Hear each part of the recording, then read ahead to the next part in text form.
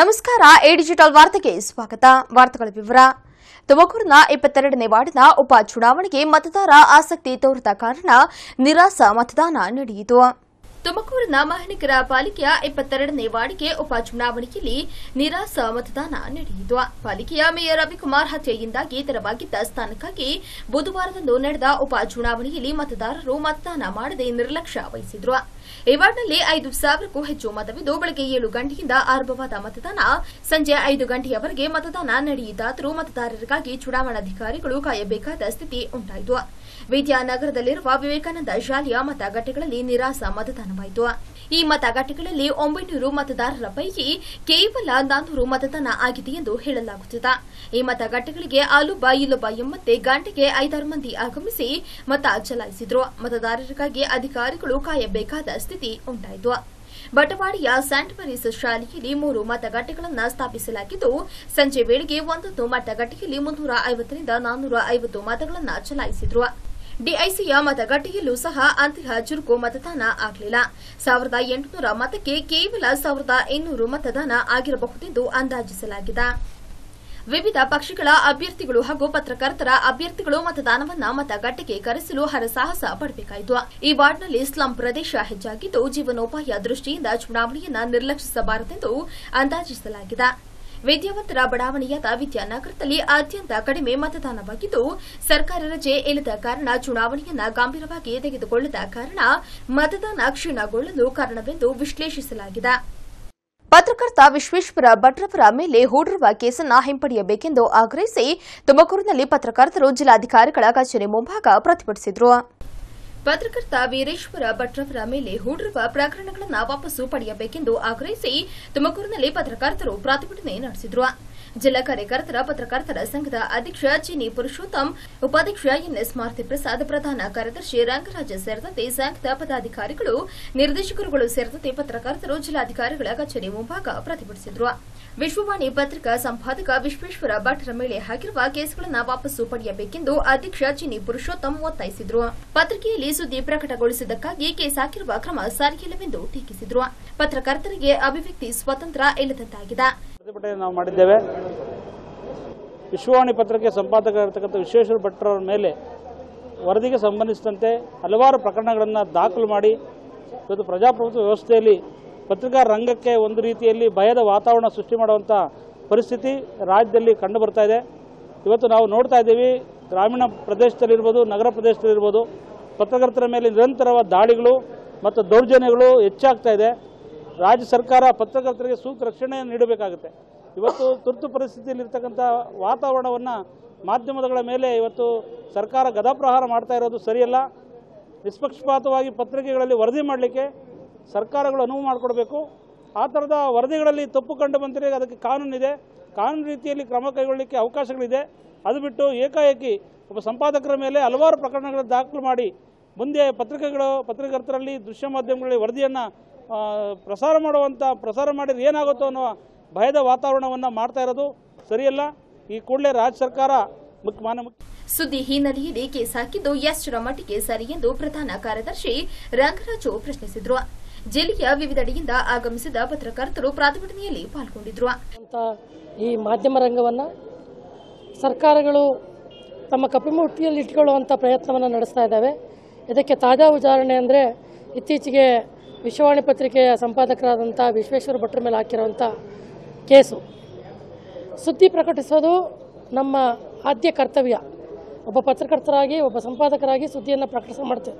ಅದರಲ್ಲಿ ಇರೋವಂಥ ತಪ್ಪುಗಳಿದ್ದರೆ ಅದರಲ್ಲಿ ಏನಾದರೂ ತಪ್ಪುಗಳಿದ್ದರೆ ಕಾನೂನು ಪ್ರಕಾರ ಕ್ರಮ ತೆಗೆದುಕೊಳ್ಳಿಕ್ಕೆ ನಾವೆಲ್ಲರೂ ಸಪ್ ಬೆಂಬಲ ನೀಡ್ತೀವಿ. ಆದರೆ ಸುದ್ದಿಯನ್ನು ಪ್ರಕಟಿಸೋದೇ ಬೇಡ. ಒಂದು ರೀತಿ ಭಯದ ವಾತಾವರಣದಲ್ಲಿ ಪತ್ರಕರ್ತರು ಇರಬೇಕು ಅಂತ ಬಯಸೋದಿದೆಯಲ್ಲ ಇದು ಒಂದು ರೀತಿ ಸರ್ವಾಧಿಕಾರಿ ಧೋರಣೆ. ಈ ಧೋರಣೆಯನ್ನು ಸರ್ಕಾರ ಮುಂದೆಂದೂ ಮಾಡಬಾರ್ದು.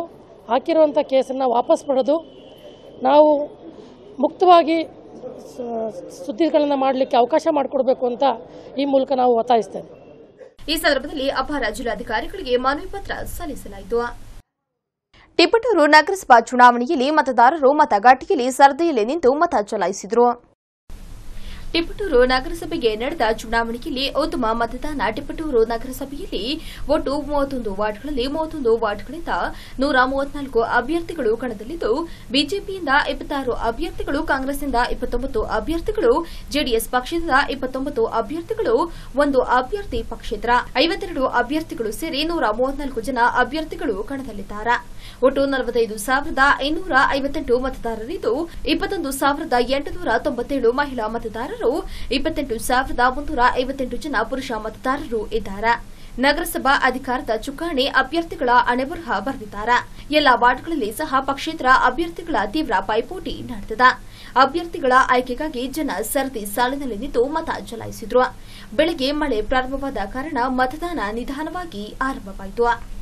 ತುಮಕೂರಿನ ಇಪ್ಪತ್ತೆರಡನೇ ವಾರ್ಡಿನ ಉಪ ಚುನಾವಣೆಯಲ್ಲಿ ಬಿರುಸಿನ ಮತದಾನ ನಡೆಯಿತು. ತುಮಕೂರು ಮಹಾನಗರ ಪಾಲಿಕೆಯ ಇಪ್ಪತ್ತೆರಡನೇ ವಾರ್ಡಿನ ಉಪ ಚುನಾವಣೆಯಲ್ಲಿ ಬಿರುಸಿನ ಮತದಾನ ನಡೆಯಿತು. ಪಾಲಿಕೆಯ ಮೇಯರ್ ರವಿಕುಮಾರ್ ಹತ್ಯೆಯಿಂದಾಗಿ ತೆರವಾಗಿದ್ದ ಈ ವಾರ್ಡ್ನ ಉಪ ಚುನಾವಣೆಯು ಬೆಳಗ್ಗೆ ಏಳು ಗಂಟೆಯಿಂದ ಮತದಾನ ಆರಂಭವಾಯಿತು. ವಿದ್ಯಾನಗರದಲ್ಲಿರುವ ವಿವೇಕಾನಂದ ಶಾಲೆಯ ಮತಗಟ್ಟೆಯಲ್ಲಿ ಒಂಬೈನೂರು ಮತವಿದ್ದು, ಇದರಲ್ಲಿ ಬೆಳಗ್ಗೆ ಏಳು ಗಂಟೆಯಿಂದ ಒಂಬತ್ತು ಗಂಟೆ ಒಳಗೆ ಕೇವಲ ಐವತ್ತು ಮತದಾನ ಆಗುವ ಮೂಲಕ ಮಂದಗತಿಯಲ್ಲಿ ಸಾಗಿತು ವಿದ್ಯಾವಂತರು ಇರುವ ವಿದ್ಯಾನಗರದಲ್ಲಿ ಮಂದಗತಿಯಲ್ಲಿ ಮತದಾನ ಆಗುತ್ತಿರುವುದು ತೀವ್ರ ಚರ್ಚೆಗೆ ಗ್ರಾಸವಾಗಿದೆ. ಬಿಜೆಪಿ ಬಂಡಾಯ ಅಭ್ಯರ್ಥಿ ನರಸಿಂಹಮೂರ್ತಿರವರು ಮತಗಟ್ಟೆ ಬಳಿ ಮತಯಾಚನೆ ನಡೆಸಿದ್ರು. ಈ ವಾರ್ಡ್ನಲ್ಲಿ ಬೆಳಗ್ಗೆಯಿಂದಲೇ ಉತ್ತಮ ಮತದಾನ ಆಗುತ್ತಿದ್ದು, ಯಾವುದೇ ಅಹಿತಕರ ಘಟನೆ ಆಗದಂತೆ ಶಾಂತಿಯುತವಾಗಿ ಆಗಬೇಕೆಂಬ ಅಭಿಲಾಷೆಯನ್ನ ಬಿಜೆಪಿ ಬಂಡಾಯ ಅಭ್ಯರ್ಥಿ ನರಸಿಂಹಮೂರ್ತಿ ವ್ಯಕ್ತಪಡಿಸಿದ್ರು. ಉಪಚುನಾವಣೆಯಲ್ಲಿ ಇವತ್ತು ಮತದಾನ ನಡೀತಾ ಇದೆ. ಮತದಾರರೆಲ್ಲ ಇವತ್ತು ಬೆಳೆ ಬೆಳಗ್ಗಿಂದಲೇ ಎಲ್ಲ ಬೂತ್ಗಳನ್ನು ಬಂದು ಖುಷಿ ಖುಷಿಯಿಂದ ಬಂದು ವೋಟ್ ಮಾಡ್ತಾ ಇದ್ದಾರೆ. ಯಾವುದೇ ತರಹದ ಘಟನೆಗಳು ನಡೆಯದೆ ಈ ಮತ, ಈ ಇಪ್ಪತ್ತೆರಡನೇ ವಾರ್ಡನ್ನ ಸೂಕ್ಷ್ಮ ಅಂತ ಘೋಷಣೆ ಮಾಡಿದ್ರು. ಯಾವುದೇ ರೀತಿಯ ಒಂದು ಥರ ಘಟನೆ ನಡೆದಂಗೆ ಸುಸೂತ್ರವಾಗಿ ಮತದಾರರು ಬಂದು ವೋಟ್ ಮಾಡ್ತಾ ಇದ್ದಾರೆ. ಬಹಳ ತುಂಬಾ ಖುಷಿ ಆಗ್ತಾ ಇದೆ. ಯಾರೇ ಜನ, ಯಾರೇ ಒಲ ತೋರಿಸಿದ್ರು ಏನು ತೊಂದರೆ ಇಲ್ಲ. ಮತದಾನ ಮಾತ್ರ ಎಲ್ಲರೂ ಬಂದು ಮಾಡ್ತಾ ಇದ್ದಾರೆ. ಆ, ಇಪ್ಪತ್ ಈ ಇಪ್ಪತ್ತೆರಡು ದಯವಿಟ್ಟು ಮತದಾರರು ಎಲ್ಲರೂ ಕಡ್ಡಾಯವಾಗಿ ಬಂದು ಮತದಾನ ಮಾಡಬೇಕಂತ ತಮ್ಮಲ್ಲಿ ವಿನಂತಿಸಿಕೊಳ್ಳುತ್ತೇನೆ. ಮತದಾರರು ತಮ್ಮ ಹಕ್ಕನ್ನ ಚಲಾಯಿಸಲು ಮತಗಟ್ಟೆಗೆ ಆಗಮಿಸಿ ಮತ ಚಲಾಯಿಸಬೇಕು. ಈ ಉಪ ಚುನಾವಣೆಯಲ್ಲಿ ಜೆಡಿಎಸ್ ಅಭ್ಯರ್ಥಿ ಶ್ರೀನಿವಾಸ್ ಮೂರ್ತಿ ಗೆಲುವು ಸಾಧಿಸಲಿದ್ದಾರೆಂದು ನಗರ ಜೆಡಿಎಸ್ ಅಧ್ಯಕ್ಷ ಬೆಳ್ಳಿ ಲೋಕೇಶ್ ಹೇಳಿದರು ಉಪಚುನಾವಣೆ ನಡೀತಾ ಇದೆ. ನಾನು ಕೂಡ ಕ್ಷೇತ್ರದಲ್ಲೆಲ್ಲ ಕಡೆ ಹೋಗಿ ಬರ್ತಾ ಇದ್ದೀನಿ. ಈ ವಿವೇಕಾನಂದ ಶಾಲೆಯಲ್ಲಿರುವಂಥ ಬೂತ್ನಲ್ಲಿ ನೀರಸ ಪ್ರತಿಕ್ರಿಯೆ ಇದೆ. ಎಲ್ಲ ಅಫಿಷಿಯಲ್ಸ್ ಇರೋದ್ರಿಂದ ಮಕ್ಕಳುಗಳನ್ನ ಶಾಲೆ ಕಳಿಸುವಂಥ ವಿಚಾರವಾಗಿ ಒಂಬತ್ತುವರೆ ಮೇಲೆ ಇಲ್ಲಿ ಪ್ರಾರಂಭ ಆಗುತ್ತೆ. ನಮಗೆ ಪ್ರತಿಕೂಲವಾಗಿ ಚೆನ್ನಾಗಿದೆ ಈ ಕಾನ್ಸ್ಟೆನ್ಸಿನಲ್ಲಿ ಅಭ್ಯರ್ಥಿಗಳನ್ನ ನೋಡಿದಂಥ ಸಂದರ್ಭದಲ್ಲಿ ಎಜುಕೇಟೆಡ್ ಆಗಿರೋದ್ರಿಂದ, ಜನಸಾಮಾನ್ಯರಿಗೆ ಭಾಳ ಸೌಮ್ಯ ಸ್ವಭಾವಿ ಆಗಿರೋದ್ರಿಂದ ಪರಿಗಣಿಸುವಂಥ ಆಶಾಭಾವನೆ ನಮಗಿದೆ. ಅವರ ಜನಗಳ ಮತ್ತು ಮತದಾರರ ಪ್ರತಿಕ್ರಿಯೆ ನೋಡಿದ್ರೆ ನಮ್ಮ ಪಕ್ಷದ ಅಭ್ಯರ್ಥಿಗಳು ಕಾಲದಿಂದನೂ ಕೂಡ ಕಳೆದ ಆರು ಏಳು ಚುನಾವಣೆಗಳಲ್ಲೂ ಕೂಡ ಜನತಾದಳದ ಅಭ್ಯರ್ಥಿ ಗೆಲ್ತಾ ಬರ್ತಾ ಇದ್ದಾರೆ. ಈಗಲೂ ಕೂಡ ಜನತಾದಳದ ಅಭ್ಯರ್ಥಿನೇ ಗೆಲ್ತಾರೆ. ಶ್ರೀನಿವಾಸ ಮೂರ್ತಿ ಅವರಿಗೆ ಮೂರನೇ ನಂಬರ್ನ ತೆನೆವತ್ತ ರೈತ ಮಹಿಳೆ ಜನತಾದಳದ ಅಭ್ಯರ್ಥಿ ಗೆಲ್ತಾರೆ ಅನ್ನೋ ಆಶಾಭಾವನೆ ಇದೆ. ಜನಗಳಲ್ಲಿ ನಾನು ವಿನಂತಿ ಮಾಡಿಕೊಳ್ಳೋದು, ಪ್ರಜಾಪ್ರಭುತ್ವ ತನ್ನ ಹಕ್ಕನ್ನು ತಾವು ಚಲಾವಣೆ ಮಾಡಿ ಈ ಪ ಈ ನಗರಕ್ಕೆ, ಅದರಲ್ಲೂ ಈ ಬಡಾವಣೆಗೆ ಉತ್ತಮವಾಗಿ ಕೆಲಸ ಮಾಡುವಂಥ ನಿಮ್ಮ ಬೆಂಬಲಿತವಾಗಿರುವಂಥ ನಿಮ್ಮ ಭಾವನೆಗೆ ಸ್ಪಂದಿಸುವಂಥ ಅಭ್ಯರ್ಥಿಯನ್ನು ನೋಡಿ ಹೊರಗಡೆಗೆ ಬಂದು ಮತ ಚಲಾವಣೆ ಮಾಡಬೇಕು, ದಾಖಲೆ ಮತವನ್ನು ಚಲಾವಣೆ ಮಾಡಿ, ನಿಮ್ಮ ಹಕ್ಕನ್ನು ಚಲಾವಣೆ ಮಾಡಿದಾಗ ಈ ಕ್ಷೇತ್ರದ ಅಭಿವೃದ್ಧಿ ಪಥದಲ್ಲಿ ಸಾಗೋದಕ್ಕೊಂದು ಮಾರ್ಗ ಆಗುತ್ತೆ ಅಂತ ನಾನು ಭಾವಿಸ್ತೀನಿ.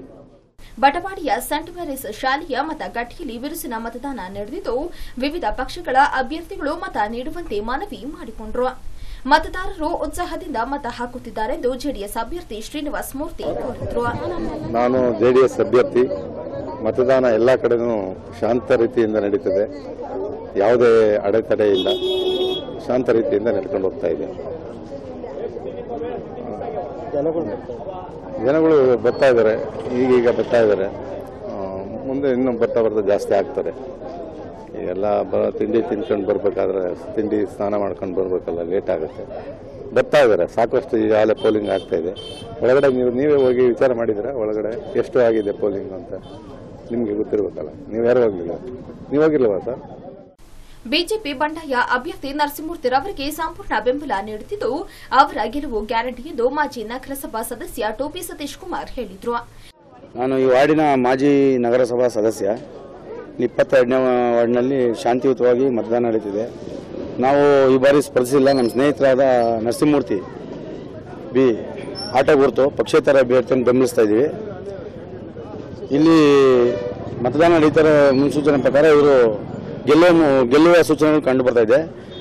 ಇಲ್ಲಿ ಸ್ಥಳೀಯ ವ್ಯಕ್ತಿಯಾಗಿರೋದ್ರಿಂದ ನರಸಿಂಹಮೂರ್ತಿ ಅವರಿಗೆ ಸ್ಥಳೀಯರ ಬೆಂಬಲ ಹೆಚ್ಚಾಗಿದೆ.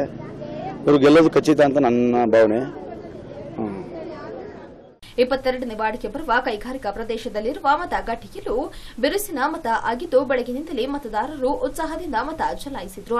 ಮತದಾರರು ಮತಗಟ್ಟೆಗೆ ಬಂದ ಮತ ಚಲಾಯಿಸಬೇಕೆಂದು ಜೆಡಿಎಸ್ ಬಂಡಾಯ ಅಭ್ಯರ್ಥಿ ಎಂಎನ್ ರಾಘವೇಂದ್ರ ಮನವಿ ಮಾಡಿದ್ರು.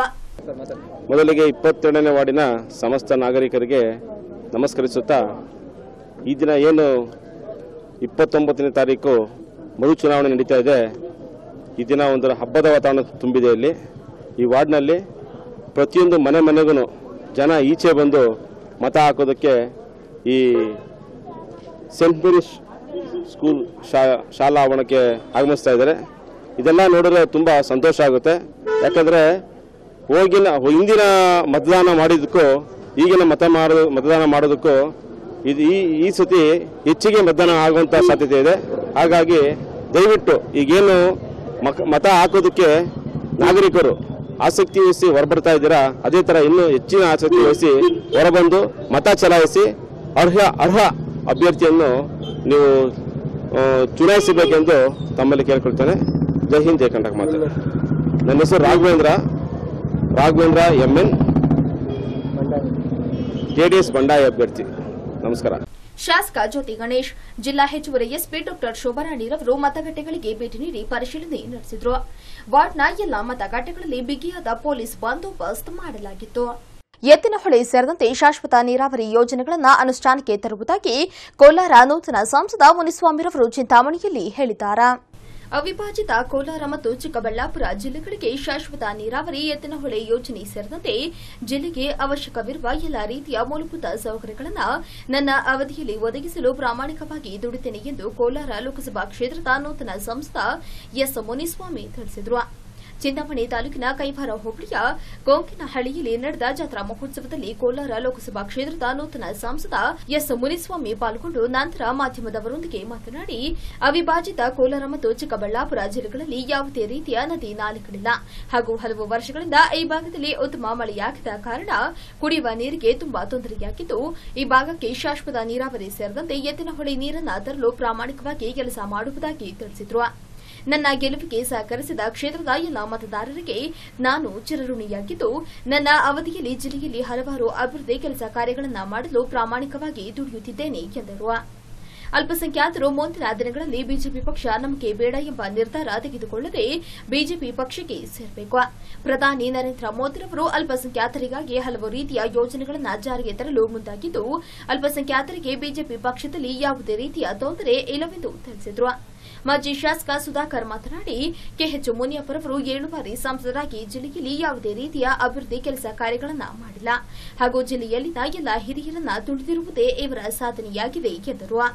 ಕೆಎಚ್ ಮುನಿಯಪ್ಪರ ಅವರನ್ನು ಸೋಲಿಸಲು ಹಲವಾರು ಬಾರಿ ಪ್ರಯತ್ನಪಟ್ಟು ವಿಫಲರಾಗಿದ್ದು, ಈ ಬಾರಿ ಪ್ರಧಾನಿ ಮೋದಿ ಅಲಿ ಹಾಗೂ ನಮ್ಮ ಸತತ ಪ್ರಯತ್ನದಿಂದ ಕೆಎಚ್ ಮುನಿಯಪ್ಪರ ಅವರಿಗೆ ಸೋಲಿನ ರುಚಿ ಕಾಣಿಸಿದ್ದೇವೆ ಎಂದು ಹೇಳಿದರು. ಬಿಜೆಪಿ ಪಕ್ಷ ಸೇರಿದಂತೆ ನನಗೆ ಈಗಾಗಲೇ ಬಿಜೆಪಿ ಪಕ್ಷದ ಹಿರಿಯ ಮುಖಂಡರು ಹಾಗೂ ನೂತನ ಸಂಸ್ಥರಿಂದ ಒತ್ತಡ ಬರುತ್ತಿದ್ದು ತಮ್ಮೆಲ್ಲ ಕಾರ್ಯಕರ್ತರು ಹಾಗೂ ಮುಖಂಡರುಗಳೊಂದಿಗೆ ಮಾತುಕತೆ ನಡೆಸಿ ಮುಂದಿನ ತೀರ್ಮಾನ ಕೈಗೊಳ್ಳುವುದಾಗಿ ತಿಳಿಸಿದರು. ದಿನಗಳಲ್ಲಿ ಆ ನೀರುಗಳು ಏನು ಕುಡಿಯೋ ನೀರು ಇದಿತ್ತು, ಅದೆಲ್ಲ ನಮ್ಮೆಲ್ಲ ಮುಖಂಡಗಳೆಲ್ಲ ಸೇರಿ ನಾವು ಅದನ್ನೆಲ್ಲ ಯಾವ ರೀತಿ ಅರ್ಜೆಂಟ್ ಆಗಿ ಕೆಲಸ ಮಾಡಬೇಕು, ಆ ರೀತಿಯಲ್ಲಿ ಕೆಲಸ ಮಾಡಿ ನಿಮ್ಮ ಜೊತೆಯಲ್ಲಿ ನಿಮ್ಮಲ್ಲಿ ಒಬ್ಬರಾಗಿ ಚಿಂತಾಮಣಿ ಯಾವ ರೀತಿ ಕೆಲಸ ಮಾಡಬೇಕು ಅಂತ ಹೇಳಿ ಸುಧಾಕರ್ ರೆಡ್ಡಿ ಅವರ ಮಾರ್ಗದರ್ಶನದಲ್ಲಿ ನಮ್ಮ ಭಾರತೀಯ ಜನತಾ ಪಾರ್ಟಿಯ ದಿನದಲ್ಲಿ ನಾವು ಕೆಲಸ ಮಾಡೋಣ.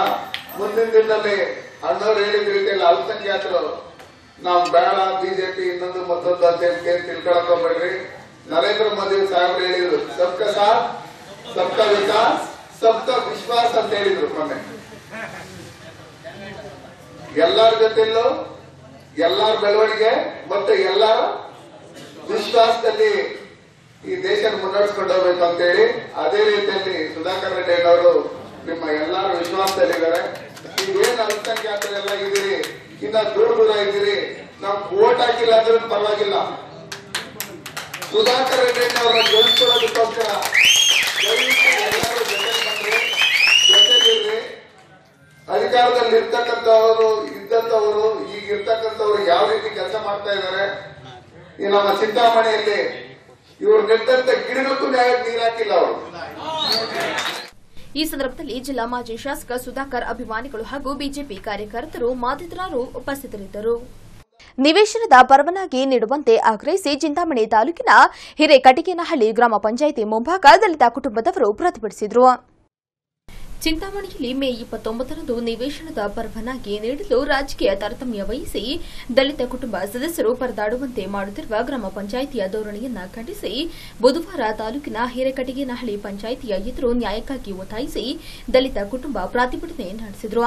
ಹಿರೇಕಟಿಗೇನಹಳ್ಳಿ ಗ್ರಾಮ ಪಂಚಾಯಿತಿ ವ್ಯಾಪ್ತಿಯ ಜಂಗಮಪುರ ಗ್ರಾಮದ ಮುನಿರತ್ನಂ ಮುನಿಯಪ್ಪರವರಿಗೆ ಕಳೆದ ಹಲವು ತಿಂಗಳಿನಿಂದ ನಿವೇಶನ ಪರವಾನಗಿಯನ್ನ ನೀಡಲು ಗ್ರಾಮ ಪಂಚಾಯಿತಿ ಅಭಿವೃದ್ಧಿ ಅಧಿಕಾರಿ ಮತ್ತು ಅಧ್ಯಕ್ಷರು ಮೀನಾಮೇಷ ಎಸಗುತ್ತಿದ್ದು, ಪಿಡಿಒ ಅವರು ಅಧ್ಯಕ್ಷರನ್ನ ಕಳಿಸುವಂತೆ ಸೂಚಿಸಿದ್ದು, ಅಧ್ಯಕ್ಷರು ಯಾವುದೇ ಕಾರಣಕ್ಕೂ ನಿಮಗೆ ಪರವಾನಗಿ ನೀಡುವುದಿಲ್ಲ ಎಂದು ಗ್ರಾಮದಲ್ಲಿ ರಾಜಕೀಯ ಹುಟ್ಟು ಹಾಕುತ್ತಾ ಪಟ್ಟಭದ್ರರ ಪರ ವಕಾಲತ್ತು ವಹಿಸಿ ಗ್ರಾಮದಲ್ಲಿ ಅಶಾಂತಿಯನ್ನ ಉಂಟು ಮಾಡಲು ಗ್ರಾಮ ಪಂಚಾಯಿತಿ ಅಧ್ಯಕ್ಷರೇ ಕಾರಣರಾಗಿದ್ದಾರೆ ಎಂದು ಮುನಿರತ್ನಮ್ಮ ಅವರ ಕುಟುಂಬದ ಸದಸ್ಯರೊಬ್ಬರು ಗಂಭೀರವಾಗಿ ಆರೋಪಿಸಿದ್ದಾರೆ?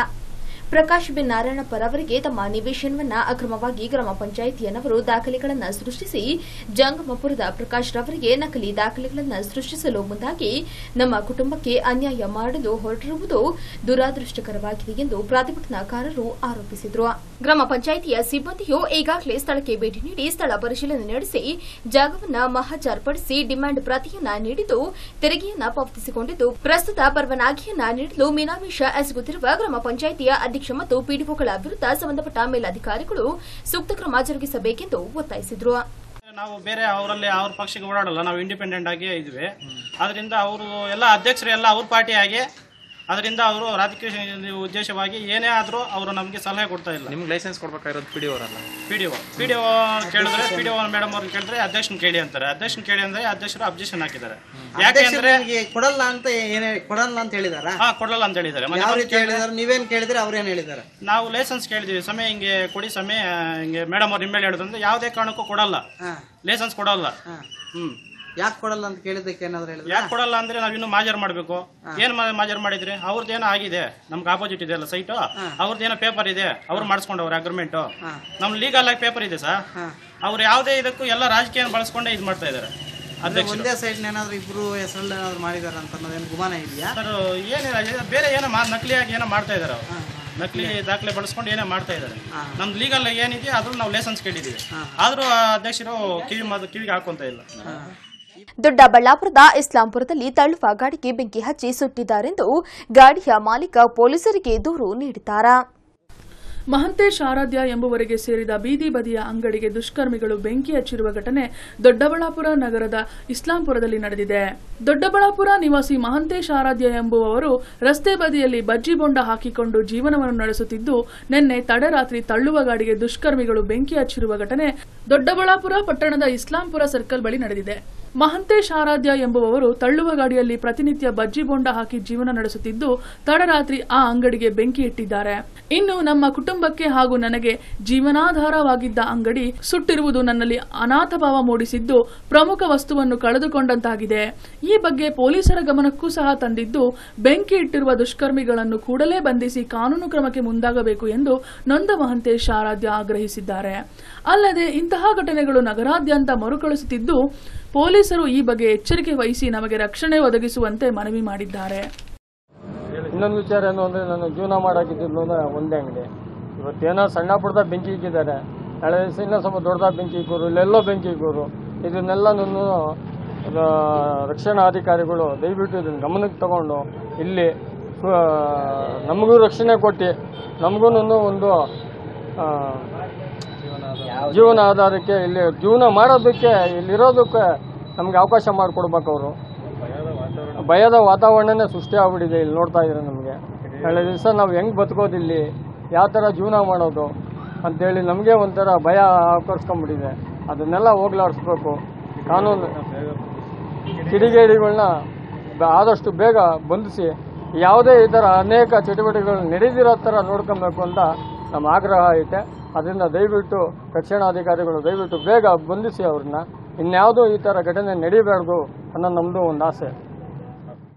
ಸೈಬರ್ ಹ್ಯಾಕಿಂಗ್ ಮೂಲಕ ಬ್ಯಾಂಕಿಂಗ್ ಕ್ಷೇತ್ರದಲ್ಲಿ ಮೋಸ ಆಗುತ್ತಿದ್ದು, ಬ್ಯಾಂಕಿಂಗ್ನ ಗ್ರಾಹಕರು ಎಚ್ಚರಿಕೆ ವಹಿಸಬೇಕೆಂದು ದೊಡ್ಡಬಳ್ಳಾಪುರ ಪೊಲೀಸರು ಮನವಿ ಮಾಡಿದ್ದಾರೆ. ಇತ್ತೀಚಿನ ದಿನಗಳಲ್ಲಿ ಸೈಬರ್ ಹ್ಯಾಕಿಂಗ್ ಮುಖಾಂತರ ಬ್ಯಾಂಕಿಂಗ್ ಕ್ಷೇತ್ರಗಳಲ್ಲಿ ಮೋಸಗಳು ಹೆಚ್ಚಾಗುತ್ತಿರುವ ಹಿನ್ನೆಲೆ ಪೊಲೀಸ್ ಇಲಾಖೆ ಸಾರ್ವಜನಿಕರ ನೆರವಾಗಿ ಧಾವಿಸಿದೆ. ಬೆಂಗಳೂರು ಹೊರವಲಯ ದೊಡ್ಡಬಳ್ಳಾಪುರ ನಗರ ಪೊಲೀಸ್ ಠಾಣೆಯ ಪಿಎಸ್ಐ ಕೆ ವೆಂಕಟೇಶ್ ಈ ಬಗ್ಗೆ ಮಾತನಾಡಿ, ನಿಮಗೆ ಈ ಬಗ್ಗೆ ಯಾವುದೇ ಬ್ಯಾಂಕ್ ಮ್ಯಾನೇಜರ್ ಅಥವಾ ಯಾವುದೇ ಬ್ಯಾಂಕ್ ಸಿಬ್ಬಂದಿ ಎಂದು ಕರೆ ಮಾಡಿ ನಿಮ್ಮ ಪರ್ಸನಲ್ ಡೀಟೇಲ್ಸ್ ಬಗ್ಗೆ ಕೇಳಿದರೆ ಎಚ್ಚರ ವಹಿಸಿ. ಇಲ್ಲವಾದಲ್ಲಿ ಪದೇ ಪದೇ ಅಪರಿಚಿತ ನಂಬರ್ನಿಂದ ಕರೆ ಬರುತ್ತಿದ್ದರೆ ಪೊಲೀಸರಿಗೆ ತಿಳಿಸಿ. ಮುಂದಾಗುವ ಅನಾಹುತವನ್ನು ತಪ್ಪಿಸುವಲ್ಲಿ ಸಹಕರಿಸಿ. ಇನ್ನು ಶಾಲಾ ಕಾಲೇಜುಗಳು ಆರಂಭವಾಗುತ್ತಿದ್ದು ಖಾಸಗಿ ಆಟೋ ಸೇರಿದಂತೆ ಇತರ ವಾಹನಗಳಲ್ಲಿ ಮಕ್ಕಳನ್ನು ಯದ್ವಾತದ್ವಾ ತುಂಬಿಕೊಳ್ಳುವಂತಹ ಪ್ರಕರಣಗಳು ಗಮನಕ್ಕೆ ಬಂದರೆ ಕಠಿಣ ಕ್ರಮ ಕೈಗೊಳ್ಳಲಾಗುವುದು ಎಂದು ವಾಹನ ಮಾಲೀಕರು ಹಾಗೂ ಚಾಲಕರಿಗೆ ಖಡಕ್ ವಾರ್ನಿಂಗ್ ಮಾಡಿದ್ದಾರೆ. ಇನ್ನು ಇತ್ತೀಚಿನ ದಿನಗಳಲ್ಲಿ ನಗರದಲ್ಲಿ ಹಲವಾರು ಅಪಘಾತ ಪ್ರಕರಣ ದಾಖಲಾದ ಹಿನ್ನೆಲೆ ಹದಿನೆಂಟು ವರ್ಷ ಮೇಲ್ಪಟ್ಟವರು ಮಾತ್ರ ವಾಹನ ಚಾಲನೆ ಮಾಡಬೇಕು. ಅಜಾಗರೂಕತೆಯಿಂದ ವಾಹನ ಚಲಾಯಿಸಿದರೆ ಪ್ರಾಣಾಪಾಯ ಕಟ್ಟಿಟ್ಟ ಬುತ್ತಿ ಹೀಗಾಗಿ ಸೂಕ್ತ ರೀತಿಯಲ್ಲಿ ಚಾಲನೆ ಮಾಡಿ ಜೀವಗಳನ್ನು ಉಳಿಸಲು ಮುಂದಾಗುವಂತೆ ನಗರ ಪಿಎಸ್ಐ ವೆಂಕಟೇಶ್ ಸಾರ್ವಜನಿಕರಲ್ಲಿ ಮನವಿ ಮಾಡಿದರು. ಸೊ ಎಟಿಎಂ ಕಾರ್ಡ್ ಹೊಂದಿರುವಂತಹ ನಾಗರಿಕರೇ, ಎಚ್ಚರ. ನಿಮ್ಮ ಮೊಬೈಲ್ಗೆ ಬ್ಯಾಂಕ್ ಮ್ಯಾನೇಜರ್ ಹೆಸರಿನಲ್ಲಿ ಒಂದು ಕಾಲ್ ಬರುತ್ತೆ. ಆ ಕಾಲ್ ಬಂದಾಗ ನೀವು ರಿಸೀವ್ ಮಾಡ್ತೀರಾ? ಬ್ಯಾಂಕ್ ಮ್ಯಾನೇಜರ್ ಅಂತ ನಂಬ್ತೀರಾ? ಅವರು ನಿಮ್ಮ ಎಟಿಎಂ ನಂಬರ್ ಕೇಳ್ತಾರೆ, ಕೊಟ್ಬಿಡ್ತೀರಾ? ಮತ್ತೆ ಪಿನ್ ನಂಬರ್ ಕೇಳ್ತಾರೆ, ಕೊಟ್ಬಿಡ್ತೀರಾ? ಸೊ ಇದನ್ನ ಬಳಸ್ಕೊಂಡು ನಿಮ್ಮ ಅಕೌಂಟ್ ನಲ್ಲಿರುವಂತಹ ಎಲ್ಲಾ ಹಣವನ್ನು ಕೂಡ ಡ್ರಾ ಮಾಡ್ಕೊಂಡು ಹೋಗ್ತಾರೆ. ಸೊ ಅವಾಗ ನೀವು ಬರ್ತೀರಾ, ಸರ್, ನಮ್ಮ ಇದರಲ್ಲಿ ಹಣ ಡ್ರಾ ಆಗಿದೆ ಉಳಿಕೊಡಿ ಅಂದ್ಬಿಟ್ಟು. ದಯವಿಟ್ಟು ಎಟಿಎಂ ಕಾರ್ಡ್ ಹೊಂದಿರುವಂತಹ ಗ್ರಾಹಕರೇ, ಎಚ್ಚರ. ಯಾವುದೇ ಬ್ಯಾಂಕ್ ಮ್ಯಾನೇಜರ್, ಯಾವುದೇ ಬ್ಯಾಂಕ್ ಇಂದ ಯಾವುದೇ ಬ್ಯಾಂಕ್ ಮ್ಯಾನೇಜರ್ ಕೂಡ ನಾನು ಬ್ಯಾಂಕ್ ಮ್ಯಾನೇಜರ್, ನಿಮ್ಮ ಎಟಿಎಂ ನಂಬರ್ ಕೊಡಿ, ಪಿನ್ ನಂಬರ್ ಕೊಡಿ ಯಾರು ಕೂಡ ಕಾಲ್ ಮಾಡೋದಿಲ್ಲ. ಅಂತಹ ಕಾಲ್ಗಳು ಫೇಕ್ ಕಾಲ್ಗಳಾಗಿರುತ್ತೆ. ದಯವಿಟ್ಟು ಅದಕ್ಕೆ ನೀವು ಆಸ್ಪದ ಕೊಡಕ್ಕೆ ಹೋಗಬೇಡಿ. ನಿಮ್ಮ ಎಟಿಎಂ ಕಾರ್ಡ್ ನಂಬರ್ ಮತ್ತು ಸೀಕ್ರೆಟ್ ನಂಬರ್ ಯಾರು ಕೂಡ ಕೊಡೋಕೆ ಹೋಗಬೇಡಿ. ಸೊ ಅದೇ ರೀತಿ ಎಟಿಎಂ ಸೆಂಟರ್ಗೆ ನೀವು ಹಣ ಡ್ರಾ ಮಾಡ್ಕೊಳಕ್ಕೆ ಹೋಗ್ಬೇಕಾದ್ರೆ ನಿಮಗೆ ಎಟಿಎಂ ಮಿಷಿನ್ ಅಲ್ಲಿ ಆಪರೇಟ್ ಮಾಡೋದಕ್ಕೆ ಬರದಿರುವಂತಹ ಸಂದರ್ಭಗಳಲ್ಲಿ ನಿಮ್ಮ ಕುಟುಂಬದ ಯಾರಾದರೂ ಒಬ್ಬ ಸದಸ್ಯರನ್ನೇ ಜೊತೆ ಕರ್ಕೊಂಡೋಗಿ ಅದನ್ನ ಹೊರತುಪಡಿಸಿ ಎಟಿಎಂ ಸೆಂಟರ್ ಹತ್ರ ಯಾವುದೋ ಒಬ್ಬ ಅಪರಿಚಿತ ವ್ಯಕ್ತಿಗೆ ನಿಮ್ಮ ಕಾರ್ಡ್ ಕೊಟ್ಟು ಅವರಿಗೆ ನಿಮ್ಮ ಸೀಕ್ರೆಟ್ ನಂಬರ್ ಹೇಳಿದಾಗ ಅವರು ನೀವು ಎಷ್ಟು ಕೇಳ್ತಿರೋ ಹಣ ಡ್ರಾ ಮಾಡಿಕೊಂಡು ನಂತರ ಅದೇ ಪಿನ್ ನಂಬರ್ನ ಬಳಸಿಕೊಂಡು ನಿಮ್ಮ ಅಕೌಂಟ್ ನಲ್ಲಿರುವಂತಹ ಎಲ್ಲಾ ಹಣವನ್ನು ಕೂಡ ಡ್ರಾ ಮಾಡ್ಕೊಂಡು ಹೋಗ್ತಾರೆ. ದಯವಿಟ್ಟು ಇದರ ಬಗ್ಗೆ ನಾಗರಿಕರೇ ಎಚ್ಚರ ವಹಿಸಬೇಕು. ಮತ್ತೆ ಇತ್ತೀಚೆಗೆ ನಗರ, ನಗರದಲ್ಲಿ ಸರಗಳ್ಳರ ಹಾವಳಿ ಹೆಚ್ಚಾಗಿದೆ. ಇದಕ್ಕೆ ಕಾರಣ ಮಕ್ಕ ಹೆಣ್ಣು ಮಕ್ಕಳು ಯಥೇಚ್ಛವಾಗಿ ವೃದ್ಧಾಪ್ಯರು, ಹೆಣ್ಣು ಮಕ್ಕಳು ಬೆಳಗಿನ ಟೈಮ್ ವಾಕಿಂಗ್ ಮಾಡುವಾಗ, ಸಂಜೆ ಟೈಮ್ ವಾಕಿಂಗ್ ಮಾಡುವಾಗ, ಮನೆ ಮುಂದೆ ರಂಗೋಲಿ ಹಾಕುವಾಗ, ಮನೆ ಶುಚಿ ಮಾಡುವಂತಹ ಸಂದರ್ಭಗಳಲ್ಲಿ ಹಾಲು ತರುವಾಗ, ತರಕಾರಿ ತರುವಾಗ, ನಿಮ್ಮ ಮಕ್ಕಳುಗಳನ್ನ ಶಾಲೆಗೆ ಬಿಡುವಾಗ, ಶಾಲೆಗೆ ಕರೆದುಕೊಂಡು ಹೋಗುವಾಗ, ನೀವು ಧರಿಸಿರುವಂತಹ ಚಿನ್ನದ ಆಭರಣಗಳ ಬಗ್ಗೆ ನೀವೇ ಧರಿಸಿರುವಂತಹ ವಸ್ತ್ರಗಳಿಂದ ಅದನ್ನು ಸರಿಪಡಿಸಿಕೊಂಡು ಇದು ಮಾಡಬೇಕು.